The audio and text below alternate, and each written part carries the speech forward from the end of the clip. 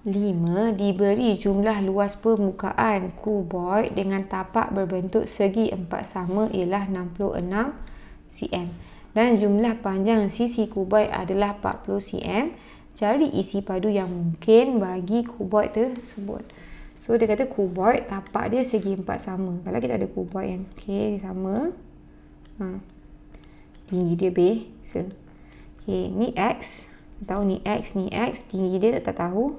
Tapi yang pasti bukan X kita bagi dia Y. Luas permukaan sebuah kuboid. Okey. Yang ni alamak macam ni. Hmm. Bila kita tengok kuboid macam ni, segi empat sama ni, luas permukaan dia ada empat luas yang sama. Empat luas sama. Tepi ni, satu, dua, tiga, empat. Dan kita ada dua luas dia punya tapak. Atas bawah sama luas yang tepi ni nampak?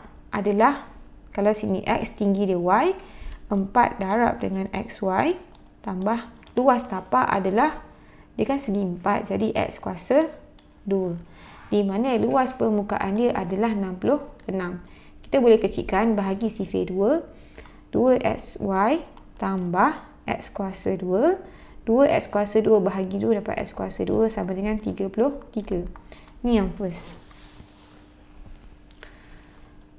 Ni, jumlah panjang sisi kubai adalah 40 cm. Kalau tengok panjang sisi ni, yang keliling ni 1, 2, 3, 4. 4 panjang sisi yang sama iaitu Y, 4Y. Lagi 4 sisi yang dekat tapak ni, nampak atas ni. Okey, ni 4, bawah pun 4. 4Y tambah dengan 8X sama dengan 40. Ni semua boleh bagi 4 y tambah dengan 2x sama dengan 10 persamaan nombor 2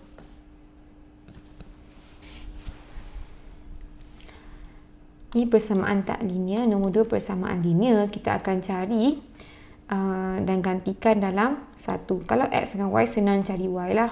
Y sama dengan 10 tolak 2x bila dapat 3 3 ni ganti dalam 1 ok 3 dalam 1 3 ganti dalam 1 ni y lah. Kita akan gantikan y dengan nombor 3 2x y ni adalah 10 tolak 2x tambah x kuasa 2 sama dengan 33 2x darab 10 dapat 20x 2x darab negatif 2x darab negatif 2x dapat negatif 4x kuasa 2 tambah x kuasa 2 sama dengan 33 3. Negatif 4 tambah 1 dapat negatif 3x kuasa 2 tambah 20x tolak 33 sama dengan kosong. Kita nak dia positif. So, kita darab semua dengan negatif 1. Ini akan dapat 3x kuasa 2. 20 jadi negatif 20x. Negatif 33 jadi positif 33 sama dengan kosong. Okay, kita fakturkan. Kalau nak kira congak boleh guna calculator pun boleh.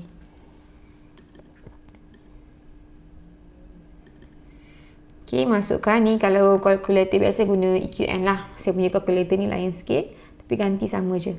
3 negatif 20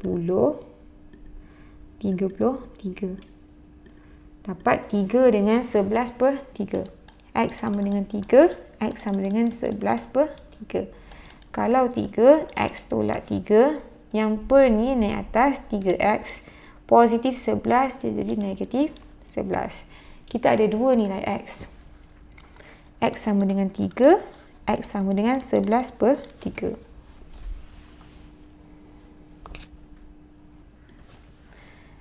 Okay, bila X sama dengan 3, X sama dengan 3, Y sama dengan 10 tolak 2, X, adalah 3. 10 tolak 6 sama dengan 4. Bila X sama dengan 11 per 3, Y sama dengan 10 tolak 2, 11 per 3. So, bila kita buat ni, hmm.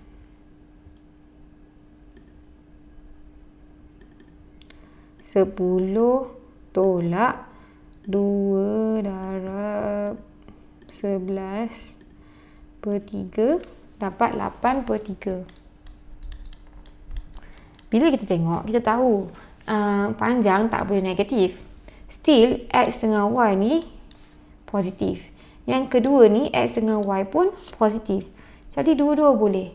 Now, kita tengok isi padu. Kita try guna dua-dua. Isi padu. Isi padu, kalau tengok ni, X darab X darab Y lah. Luas darab dengan tinggi. X kuasa 2, Y. Isi padu yang pertama adalah, kita ambil yang atas ni, X3, 3 kuasa 2, Y adalah 4. 9 darab 4 dapat 3, 6. Isi padu yang kedua adalah, okay, X ni 11 per 3. 11 per 3 kuasa 2 darab dengan Y. Y ni 8 per 3. Sama dengan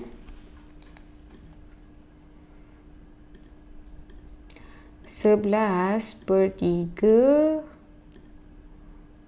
kuasa 2 darab dengan 8 per 3. Dapat 968. Okay, kita nak perpuluhan lah. Okay, saya punya ni 385.851. Bila ada atas ni, maksudnya dia berulang lah. Okay, kalau tengok ni. 385, 851, 851. Kita bundarkan lah. Okay, 35.8 5.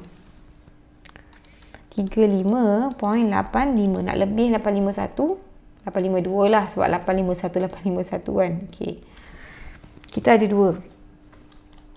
Isi padu yang mungkin ialah 36 dia sentimeter padu dan 35.852 sentimeter sorry sentimeter padu